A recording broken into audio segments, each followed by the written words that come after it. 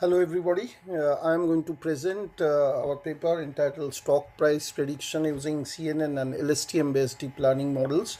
This paper is jointly authored by me, Professor Jaydip Sen and my student Sidra Mehtab. Both of us come from Praxis Business School in Kolkata. Uh, so the, uh, before I start, I put the objective of this work. The primary objective of this work is to develop a robust predictive framework for predicting the daily index of Nifty 50 listed in the National Stock Exchange of India Nifty 50 is the composite index of the top 50 companies listed in NSE chosen from several sectors of the Indian economy. The predictive framework is built using five uh, you know, deep learning models, two of which are CNN based and three of which are uh, LSTM based. The work uh, major contribution are twofold. One is there are extreme high level of accuracy that we have observed in all these models we have been able to achieve and the second is that models are very fast the fastest model needed only 11.17 seconds to execute on 1045 training and 415 test records and the root mean square uh, error of the know, to the mean of the target variable was uh, 0349 for the most accurate model. So outline of the work is related work we'll discuss about a little bit methodology, deep learning models, convolutional models, two, uh, three uh, LSTM models, uh, performance results, their observation and the conclusion references. There are three uh, you know, types of work, categories of work. Ones are mostly regression based. The second categories are mostly on uh, you know uh, econometric methods like ARIMA, ARDL and Granger. And third and most widely worked on basically are the machine learning and the deep learning models. So for methodology, we have collected data from the Yahoo Finance for all the days during NSE was open during the period December 29 2014 to July 31 2020.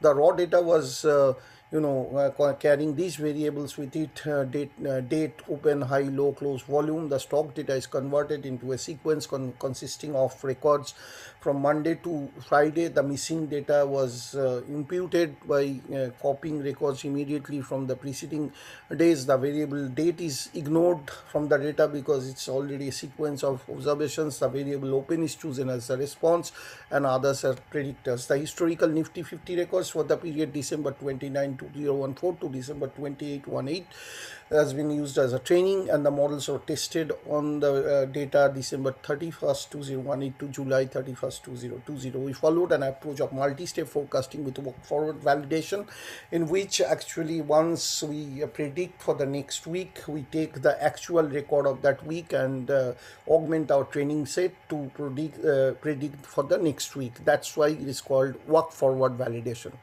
Now uh, we have actually you know exploited the power of CNN and LSTM in building our models. The CNN models are of two types here. There is CNN1 which is univariate with uh, one week data, private data as the input. CNN2 uh, CNN model with two weeks private data as input. LSTM, there are three uh, models that we have produced, encoder, decoder, LSTM with two weeks uh, private data, encoder, decoder, CNN, LSTM with two weeks private data, encoder, decoder, convolutional LSTM with two weeks private data. Now the first model that we discuss is a CNN1 is a univariate model with one week private data, one convolution layer with 16 feature maps and a kernel size of 3 has been used. Uh, so that there is not much of feature extraction because this is a very simple model. Max pooling layer of size 2 reduces the features that are extracted by the convolution layer. The flattened vector is interpreted by a fully connected layer and then finally it is passed on to a fully connected uh, dense layer in the output layer. In the output layer we use uh, sigmoid whereas in the other layers we have used ReLU as the activation and Adam as the optimizer 20 epochs uh, with and the batch size of 4 has been used loss function MAC and you know RMAC has been computed out of that. So this is the broad architecture. 5 1 is the input shape. Then you have got a convolution layer max pooling layer flattening layer then the dense layer and the finally output layer produces the 5 uh, output. Uh, this is model 2 CNN Model 2 is uh, structurally similar to CNN 1. Only difference is that it uses two weeks data instead of one week's data. So you have got 10 instead of 5. Remaining part of the network architecture remains same. So LSTM model, this is a univariate LSTM with two weeks prior data as input. Two LSTM layers are used. Encoder layer actually encodes and decoder layer decodes. The first LSTM layer has 200 nodes. It receives input sequence in the form of 10, one, one feature, 10 you know uh, data sets produces 20 elements vector because that's uh, feature extraction massive feature extraction happens. Each timestamp the output sequence the output sequence analyzed once hence five timestamps uh, 200 features are extracted. The feature, final prediction is done one day at a time, step by step, using a time distributed wrapper, which is coming out of Keras. The ReLU activation is used in the two LSTMs, MSE, Adam, or the loss and the you know optimizer functions used in the output layer. The training was done over 20 epochs using a batch size of 16.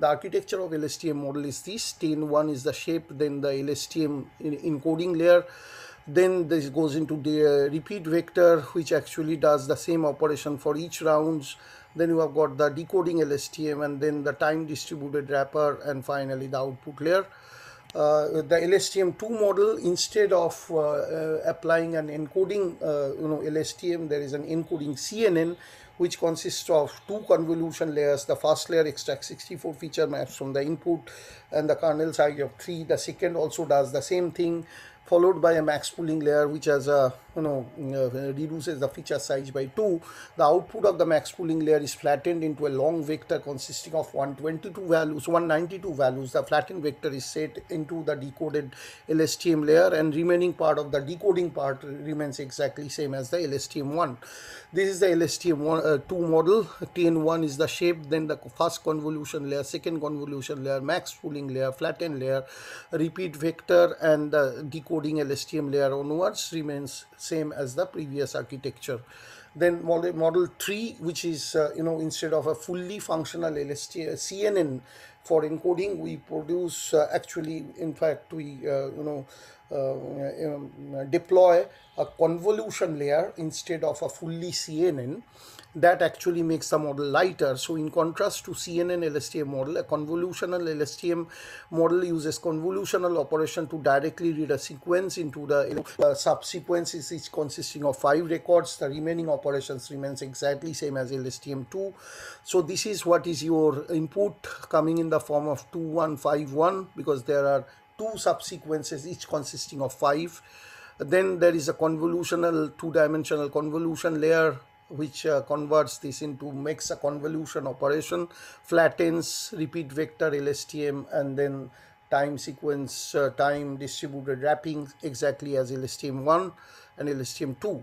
The models have been implemented in a system consisting of Intel i5-8250U processor with a clock speed of 1.60 GHz, 1.80 GHz HDB RAM, 8 GB RAM running on 64 Windows, 64 bits Windows 10, uh, uh, 10 operating system. Uh, the models are implemented using Python 3.7.4, TensorFlow 2.0, 2.3.0, Keras 2.415. Each model is executed over 10 rounds uh, and their mean performance is taken in terms of their execution speed, the overall RMSE of the entire week and the RMSE values of each individual week. Finally, the mean measure of the execution time, the overall RMSE and the RMSE for the individual week are computed in order to compare the models in terms of their performances. The mean of the open uh, index value which is used as a denominator which has been used as 1070.59 this directly is computed from the data set. Now these are the results. So we have got five models. So these are the point to note. Mean uh, execution time for CNN have been 12.48 mean RMSE by mean of the target is 0.0349. So this denotes the accuracy of the model, this denotes the fastness of the model. So the one which wins over here, the lowest time actually is the fastest model, which we can see here. 11.17 so LSTM3 which is a uh, encoder decoder convolutional LSTM that is turns out to be the faster whereas the lowest value of RMSE by mean is found to be produced by 0349 that is CNN1 which is univariate CNN with one uh, prior month, uh, week's uh, input as the um, uh, input to the model. So these are the performance and we also observed fantastic, uh, you know, uh, very interesting results in terms of the RMSE as exhibited by the models over different days of a week. And we find that each uh, model has exhibited one unique characteristics that there is a constant increase in RMSE from Monday towards uh, to the uh, Friday. The um, Friday's RMSE has been maximum, so it has been proved that the randomness of the data turns out to be the maximum in the day of Friday and is least in the terms of Monday. So most of the model has committed less error during uh, Mondays and uh, maximum error during the Fridays and also uh, it is uh, clearly visible that this model LSTM1 actually has a little deviation because it has exhibited maximum error in the month of Thursday right? So uh, this is the mm, uh, you know overall result. CNN1 turns out to be the most accurate. LSTM3 turns out to be the fastest. So I have ranked them also in terms of execution and RMSE speed. LMSE, uh, LSTM3 turns out to be fastest. It has got a rank 1 uh, in terms of execution speed 11.17 cnn turns out to be the rank 3 2 and the slowest uh, turns out to be lstm2 which is nothing but cnn lstm uh, which uh, deployed one cnn in the encoding layer and RMSE by mean. So the most accurate model turns out to be CNN1, which is CNN with one, uh, you know, prior week data as an input, which turns out to be the value of 0349 in RMSE by mean of the actuals. And the second one, CNN5, uh, the first one basically is, uh, you know, uh, the rank which has turned out to be the, um, uh, you know, least accurate is LSTM4, right? That is you know mm, the one which is uh, having you can say convolutional uh, LSTM which has got the lowest time.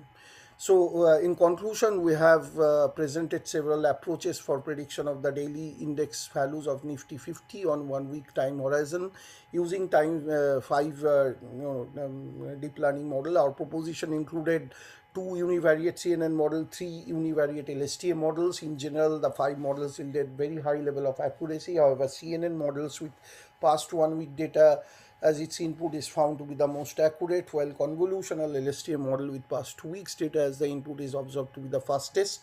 As a future scope of work, we want to include generative adversarial network in our design because those models are supposed to be very, very accurate in terms of uh, you know extracting and imitating the future uh, you know the feature of the time series so we uh, want to take it towards that uh, level uh, in our next work. So these are the references and this is my email id i would be very glad to receive your uh, you know questions which i will be very glad to answer. Thank you very much. I'm closing